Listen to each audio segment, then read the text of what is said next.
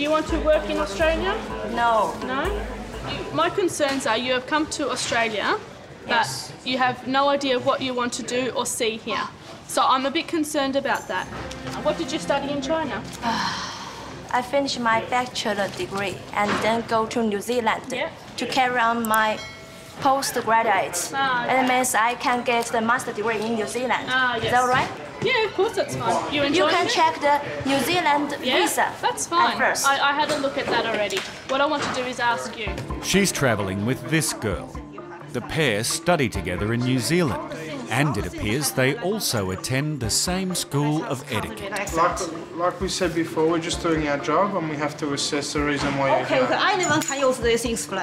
Bringing bad manners over the border is not a crime. But if it's a tactic to hide something, officers need to know. Yeah. Now, what I want to know is what, what are you doing here in Australia? You've come to Melbourne, so when you leave the airport, what will you do for seven days in Australia? Just go around. You're like a visitor.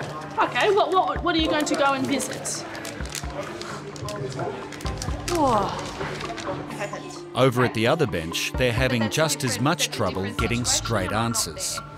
Today we're having a look because of the you'll come for a short time and you don't know really what you're going to do here. Why do you need to know the reason? We need to make sure that you're coming here for legitimate reasons. You, my concerns are you have come to Australia, but Yes. you have no idea what you want to do or see here. So I'm a bit concerned about that. It is unusual for I somebody don't to come, the reason. But it's for me. It's unusual for somebody to come to I to think the reason probably is um, my citizen is Chinese. That's the no, reason. it's got nothing to do with that. Officer Maria checks the girls' bags, which is met with more they sent you protest from the or- passenger. If you use the X-ray, you can find the food or anything. I'm not item. concerned about food today, but I need to make sure. So I think you you don't have right to examine my baggage. Okay, let me just explain to you what's happening here. When you travel through an international airport, customs have the right to search your bags and make sure that everything is legitimate. And we have the right to search you as a person to make sure you're here for legitimate reasons. Okay, does that make sense to you? Does that make sense to you? Okay, just can carry on. No, I just want you to understand what we're doing here today. I understand. You understand? Yes. And it's not what's there, No, that's but all what right. isn't there that suggests this girl might be trying to hide something. Is this all the clothing you have? Yes. So this is all you have for seven Yes. days? Not very much. Oh, you know, if you just have a trip in Yeah. one country, it's enough. Yeah, this is okay. For me, it's different. I think I, I need to bring a lot more things. Officer Maria is about to discover something in her bags that could explain why this girl is being so guarded. What will you see and do in Melbourne?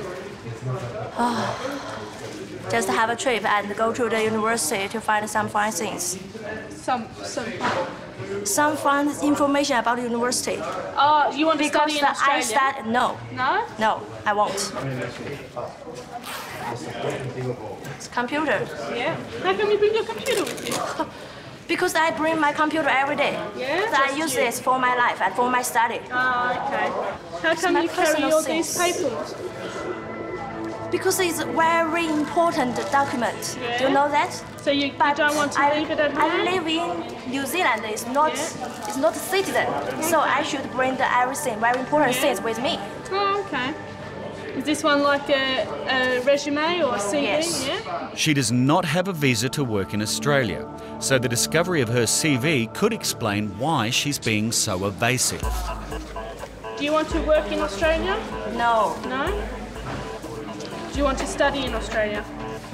no. No. At this stage, officers need to know if these girls are a customs or immigration risk. And over at the other bench, they discover a piece of the puzzle that could finally explain exactly why these girls are here. This one here, Melbourne, what, what does that mean in the money here? It means if we want this person to help us, this is the money I should pay for them.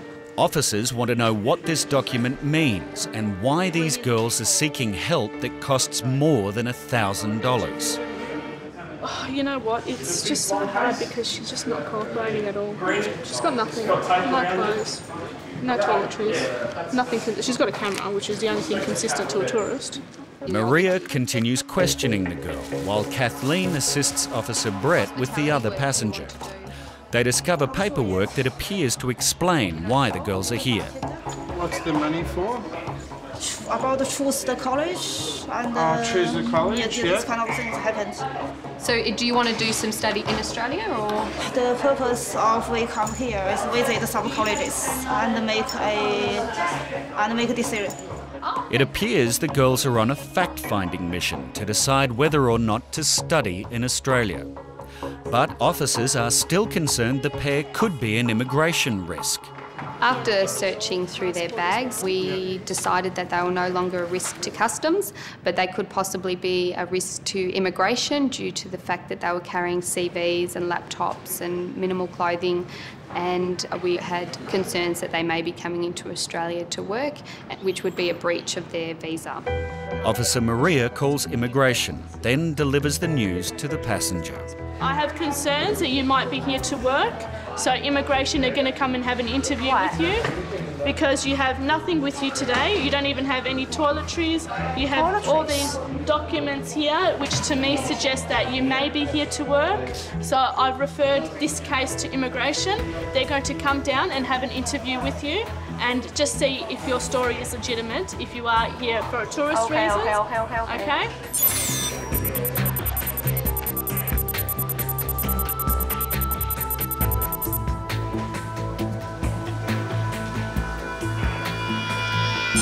It's not one or two things. You've got the whole bench. Like for me, for me, if you, if you have a look at that, for me, it looks like you're coming here to sell it. That's, that doesn't look like personal use. At Sydney Airport, a quarantine baggage search has just uncovered a suspicious quantity of undeclared jewellery, and now customs is involved. Yeah. X-rays from quarantine showed their bag was full of some something, so they called us over. Upon first inspection, you know, went from a little bit of jewellery to more to more. You know, as soon as you see something like that, you know that it's for, for sale purposes. Madam, is this your name? This is your signature? Can you answer these questions yourself? Okay, this baggage belongs to you. Okay, and you packed it yourself? The woman from China is being tight-lipped about the goods, keeping her cool and claiming that her jewellery is all strictly for personal use. Do you see over here it's how it says goods over $900? You need to declare, and it also says here goods samples for, for you know, used for commercial use. You, you didn't know? Sorry. First time, ma. See, it's not it's not one or two things. You've got the whole bench. Like for me, for me, if you, if you have a look at that, for me, it looks like you're coming here to sell it. That's, that doesn't look like personal use. Do you, do you understand what I'm saying? My problem is at the moment that you're telling me that this is all for personal use. Yeah. I because I I Because look, if you have a look there, it's about 20 bangles. for the you know friends. So you, you, you're saying that you've got them for presents for friends? Is there anything else anywhere else? Despite the passenger's denials, this is clearly a commercial quantity of jewellery. So far, there are holes in her story, and she still seems to be hiding something. Can you tell me whose credit, who is your husband? Why are you carrying your husband's credit card? Because he's my husband. Even though she says it's her husband's, carrying a credit card in another person's name will often arouse suspicion. Listen to what I'm going to tell you. You don't have to say or do anything, but anything you do say or do may be used in evidence. Do you understand that? This undeclared haul could be just the beginning, as officers have now discovered she was not travelling alone. Oh, where's this person? My husband. Ah, it's your hubby. Is that him? Yes. Was he travelling with you here? Yes. Okay. Where is he now? Outside? Maybe. Was he carrying any jewellery with him? We'll bring him in now. So if you can tell us now if he's carrying jewellery before we bring him in, that'd be very helpful. Yeah, a little bit. That's all. He's, He's- carrying he's jewellery as, well? as Okay. Can you escort her out, bring her back in? If they locate him and he's also carrying jewellery, the couple could be in serious trouble. Customs has just found the husband of this passenger And a baggage exam reveals that he also has a huge quantity of undeclared jewellery. You remember outside how I asked you if you have any jewelry? You said you said you have a little bit. You've got half a bag. You said you had a couple of things for the hair. What what are you going to do with this jewelry? My wife do the the, the during the job here. A job. So she's not using it for her personal use. Because she told us she's using it for herself. The undeclared merchandise was held by customs because the couple failed to follow correct importation procedures.